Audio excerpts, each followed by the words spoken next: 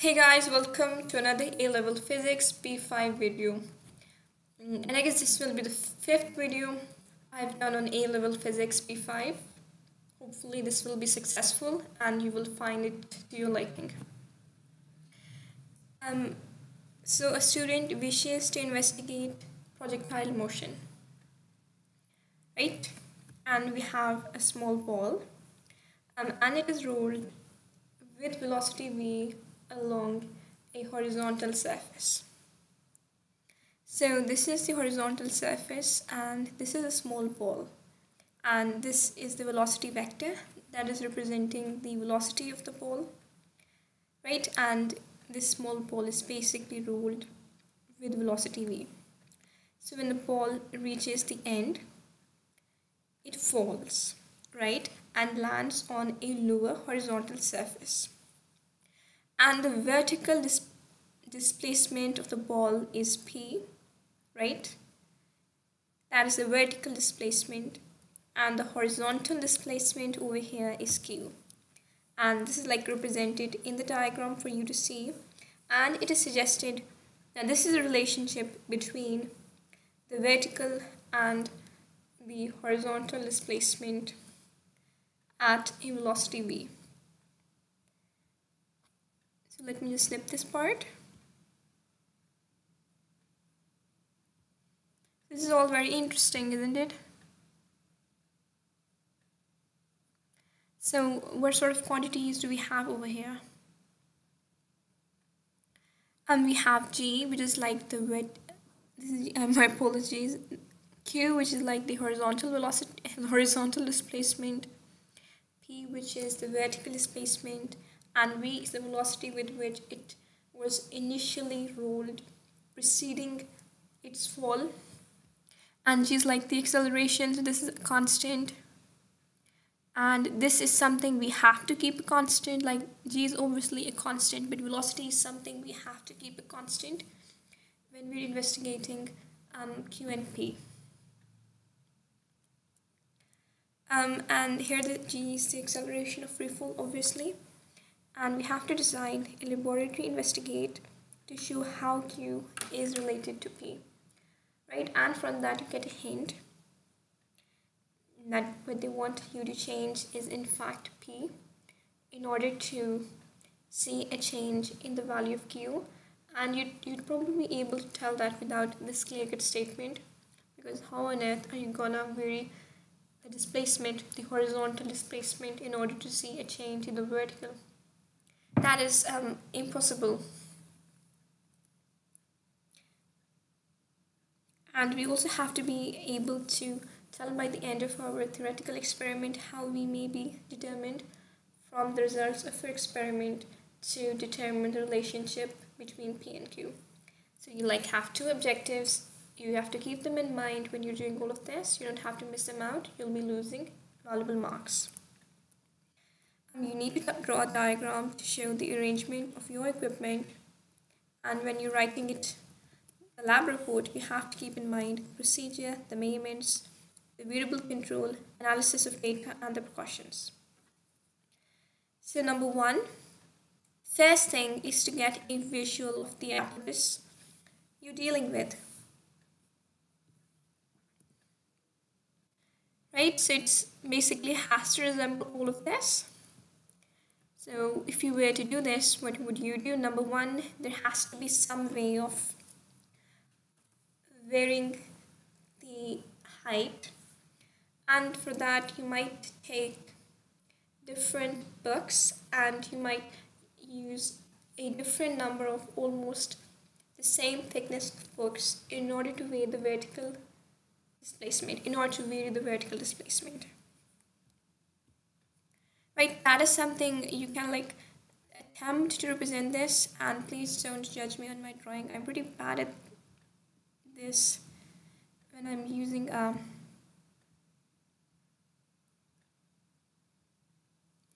a computer. Not that bad actually. So you might actually represent this. It's not necessary, I believe, but you can show that this is a tabletop. Again, no judging my drawing skills. Like you can represent this as being a tabletop. I don't think they're gonna so that you actually get an they get an actual idea of what you're doing. Right?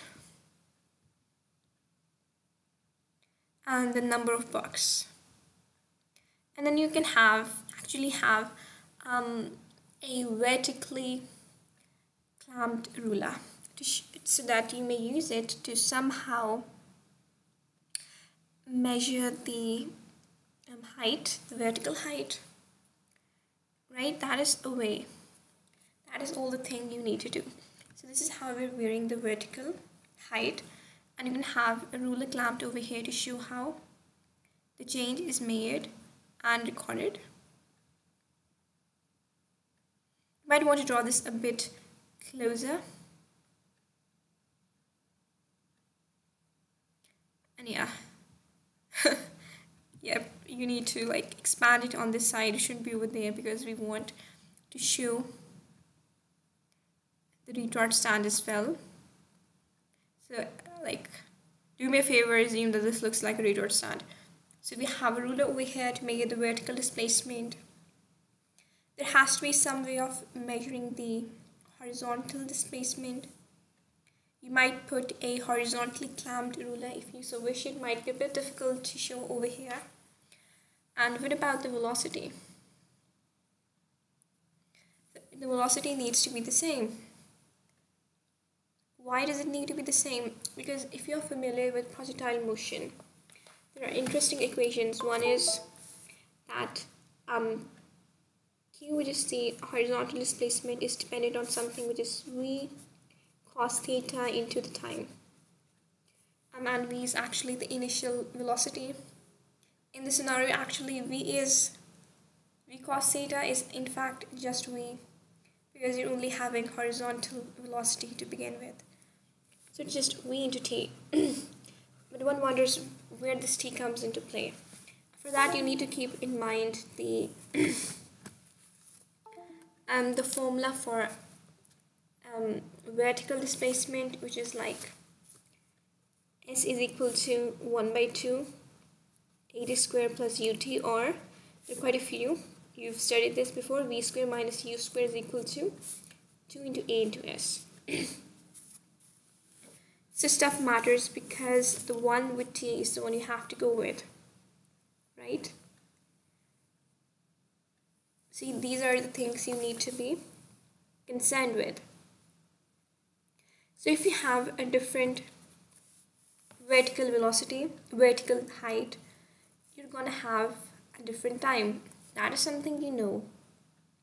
But the thing is, if you have different velocities to begin with, different initial and final velocities, the final is actually the same. That's to vary s as well right because at this point we're going to have a value of z 0 for the vertical right? That's what we think it is. Because there isn't any like it's on a smooth surface there's nothing that is sort of like pushing it along right? So it's if you were to imagine it you might say it's the, like at the top of a parabolic pathway. There isn't any velocity to begin with and it has to fall a certain height that is equivalent to s right? Right? And because s is equal to 1 by 2 at square plus ut this makes sense. Because u is like initial and we know initially we have a zero velocity. So it's just s is equal to 1 by 2 at square right? So from that we know that the height is actually changing the time period for it to fall and that is basically equal to v into t. And so time is changing and v is also a determining factor so we need to keep v a constant it doesn't matter how long it is a v for but if we if it has v over here and we're expecting it to have v over here as well that's not going to be the case because there will be friction. So we don't want it to be traveling a lot of distance before it falls off. That is what i'm trying to say here. How do we ensure that it has velocity v? Um, might have to do with acceleration? How do you ensure something? That it is moving at one velocity. And we might use something like a force meter. Right? And you might give it a certain amount of push with it that will give it a certain amount of acceleration for a certain amount of time so theoretically it will have the same value of velocity each time so you have to give it a certain amount of force at a set distance each time you repeat the experiment. So that theoretically, because it will have traveled the same distance before reaching the ridge, it would have experienced or it would have gotten the same amount of velocity.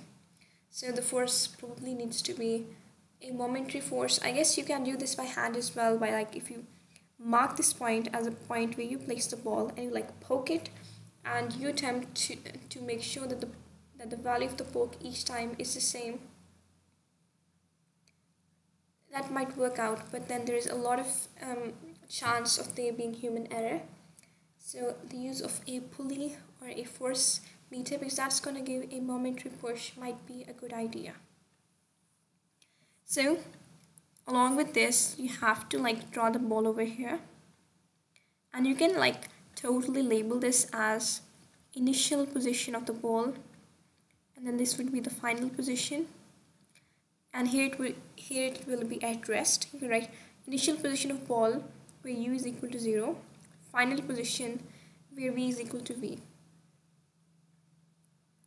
or where v, v, v naught is equal to v v naught might be just a general representation of velocity. And then you can have just something to measure where the final position is and then you're gonna you're gonna equate that.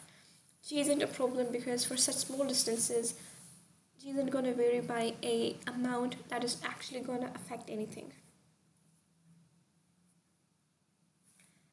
So make the block make this make the initial the final you might actually um, represent this as stack of uniform thickness books you might label this as the tabletop. You might have some sort of a sandbox over here in case, I don't know, the ball flies off and so it's probably gonna hit over there and take all of its energy so it doesn't continue bouncing off and causing some sort of a accident.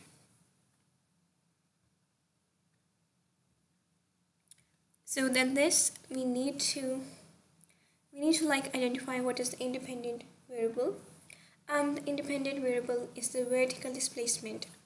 So the dependent variable is going to be the horizontal displacement, right? The controlled variable has to be the velocity v, that is the horizontal velocity. That needs to be the same and the distance on the upper horizontal surface, the distance which it is accelerated, for which it is accelerated, needs to be the same. So if, for example, we are using, we have like sort of like connected this to a pulley system, right? And we're like putting weights on the pulley, then the amount of distance the ball moves due to the pulley has to be the same because the moment the pulley releases it won't it won't any longer be pushing any sort of a force on the ball causing it to accelerate. So there's a lot of different stuff. You don't have to go into detail. This is stuff you'd probably have done. This is a bit more complicated. So just give an idea that you know how to do that. So independent dependent controlled initial velocity or the distance the ball is accelerated from rest at a constant given acceleration.